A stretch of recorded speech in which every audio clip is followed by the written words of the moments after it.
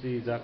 안녕하십니까. 제 이름 셰파다와르입니다. 저는 서른 살입니다. 저는 네팔 사람입니다. 저는 2010년부터 3년 동안 사우디아라비아에서 1년간 경험했습니다. 거기 제가 징징하게 일을 했습니다.